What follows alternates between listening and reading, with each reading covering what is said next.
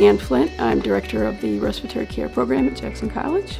Respiratory care is a profession where the caregivers take care of patients from every age, from the youngest premature infant up to the oldest patient, mostly in intensive care and emergency room settings.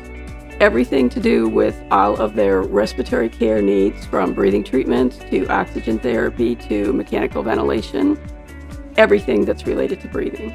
We offer a associate's degree. It's accredited with the Committee on Accreditation of Respiratory Care.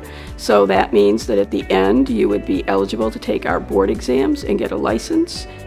Typical workday for a respiratory therapist, you come in in the morning and you get report on the patients from the other people that have had them before you, and you take care of the patients all day long on their ventilators. You're interacting with the nurse who is the caregiver at the bedside all day long and the doctor who is supervising the care of the patient. You have to have a technical bent because we work with a lot of high-tech machinery and also want to work with patients one on one because that's primarily what we do. So you have to feel good, comfortable working with people and really want to work with patients.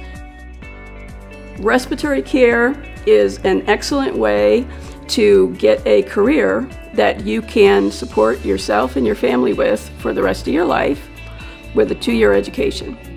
It's a way to get a career that takes care of you.